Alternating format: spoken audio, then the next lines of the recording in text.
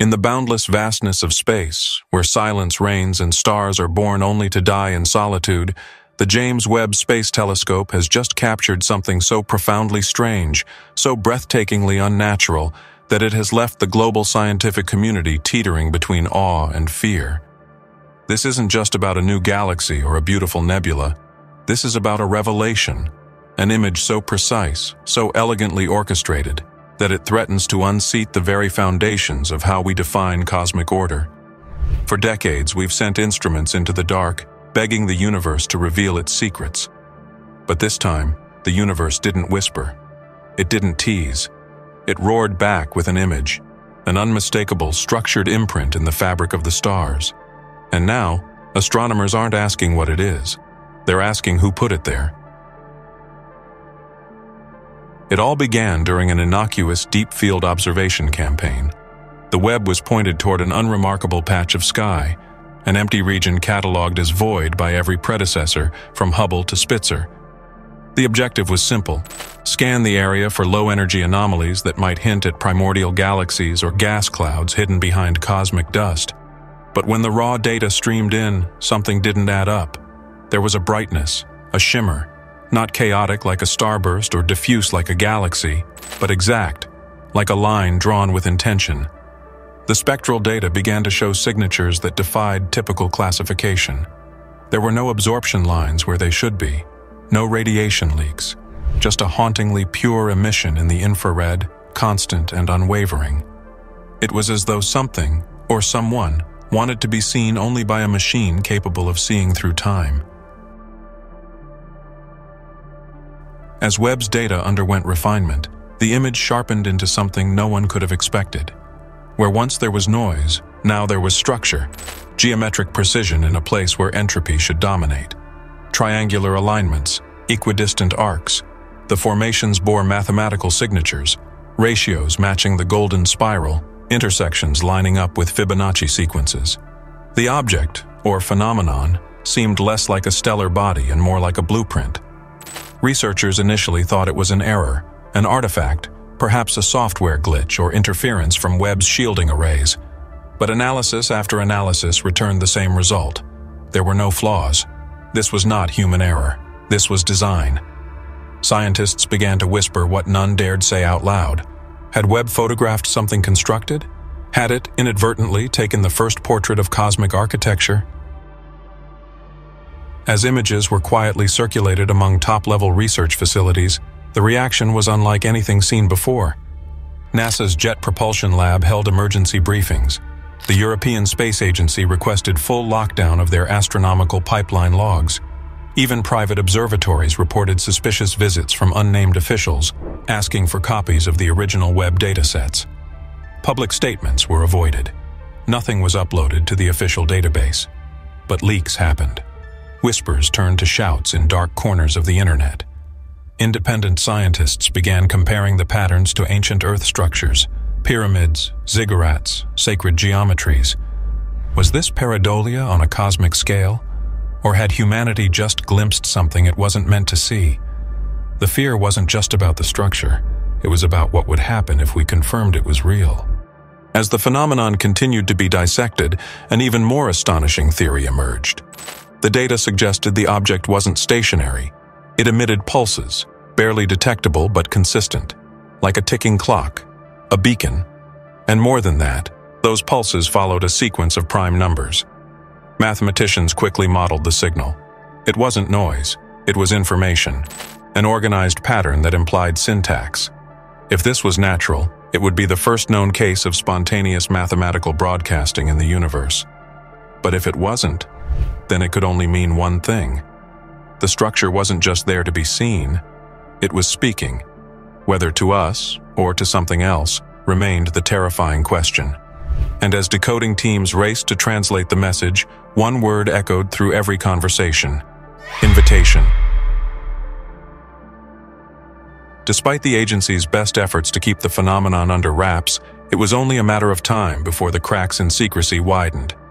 A leaked image posted anonymously on a deep forum began circulating with a caption that simply read, It's not a star, it's a signal. At first, Many dismissed it as science fiction or digital art, but those familiar with the Webb's imaging filters recognized the spectral overlays and color composites. Independent experts began verifying the data, and what followed was a digital wildfire. YouTubers, astronomers, podcasters, everyone was talking about Webb's message from the void. The media frenzy forced NASA into an uncomfortable silence. Their refusal to comment only fueled the public's growing suspicion that something unprecedented had been uncovered. And then came the tipping point, when a respected astronomer broke ranks in a late-night interview, confirming that yes, the structure was real, and no, it was not natural. With the image now public and researchers no longer bound by silence, discussions turned to theoretical implications. One term kept resurfacing, the Einstein gap a reference to the chasm between classical physics and the inexplicable behaviors of quantum mechanics. The structure captured by Webb didn't obey expected cosmic principles. Its gravitational influence was anomalous.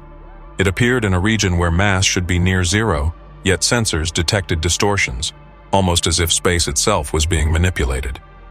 Some physicists began arguing that the object was embedded in a higher dimensional geometry, that what we saw was merely the 2D projection of something existing beyond our perception. Others speculated it was not an object at all, but a portal, a kind of gravitational lensing so precise that it formed a corridor of spacetime. Suddenly, the James Webb wasn't just an observatory, it was a key, and the door it unlocked might not just lead to knowledge, but to an entirely new reality. The conversation then veered into territory few dared explore, historical parallels. Across ancient civilizations, from Sumer to the Mayans, from Stonehenge to Göbekli Tepe, similar patterns of geometry and celestial alignment emerged. Symbols found in remote cave paintings mirrored the arrangements seen in Webb's image. Conspiracy, coincidence, or continuity? Could it be that our ancestors glimpsed the same structure thousands of years ago? Or worse, were they contacted by the same intelligence that Webb had now captured through cold, digital eyes? Linguists and semioticians began dissecting the signal's prime number sequence, comparing it to ancient languages. Some claimed to find syntax, others embedded instructions. And while the mainstream scientific world laughed off these ideas as fringe theory, a growing number of academics began publishing papers under pseudonyms, unwilling to stake their careers but compelled by something deeper an intuitive, almost primal recognition of the truth. Eventually, humanity was left to reckon not only with the image itself, but with the weight of its implications. The discovery didn't just break science, it broke something inside us. For centuries, we've searched the skies for signs of intelligence, expecting them to be either far away or long gone. But what if they were here, not in space, but in time, waiting for our technology to catch up? For our minds to be ready. And now that we had finally looked deep enough, finally built a telescope that could see the invisible, what had we awoken? For some, this discovery reaffirmed faith, proof of divine intelligence, order in chaos. For others, it unraveled their beliefs. Governments began holding classified meetings. Defense contractors studied the geometry for engineering potential. Religious leaders issued vague statements of hope and fear, but no one had answers. Only the Webb, still silently drifting at L2, pointing toward the darkness that had just blinked back. Just when the global conversation began to cool and the frenzy around the Webb's discovery started to settle into uneasy silence, a new anomaly emerged, one that was never meant to exist. Tucked within the last data packets transmitted after the infamous image, an unexpected fluctuation appeared, a rhythmic pulse, faint but precise, almost like a heartbeat. It repeated in intervals too regular to be cosmic noise and too synchronized to be a machine glitch. At first, analysts believed it might be a residual frequency from Webb's internal systems. But after triple verification by both NASA and ESO teams, the pulse was isolated. It originated from deep space, specifically from the exact coordinates of the structure. This wasn't a residual echo of radiation, nor a collision of particles. It was a patterned emission. Some described it as a digital signature, others as an artificial beacon encoded in waveform. What shook the scientific community to its core was the realization that this pulse aligned with timestamps from early human transmissions. It was responding.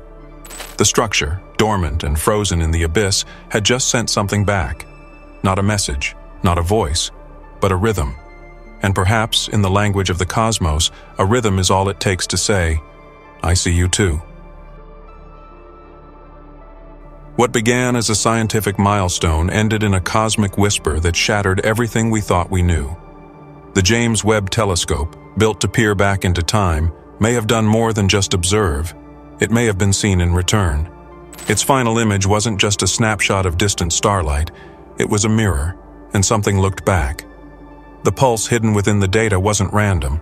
It was deliberate, structured, patient, as if the universe itself had been waiting, watching, and now responding. We thought we were alone, voyeurs of the cosmos, safe behind our lenses and instruments. But the Webb has revealed something far greater than galaxies and nebulae. It uncovered the presence of intention, and in doing so, it raised a question we're still not ready to answer. Were we the ones discovering, or have we just been discovered? Now, as the silence stretches beyond that final signal, one truth echoes across observatories, labs, and sleepless minds across the world. This wasn't the end of an observation. It was the beginning of a conversation. And the most haunting part? We have no idea who or what spoke first. Because in space, when something speaks back, it never speaks by accident. If this discovery truly confirms what we all feared, what else is still hidden out there? Hit the like button if this left you speechless. Subscribe for more unbelievable space revelations and tell us in the comments, do you believe they're watching us now?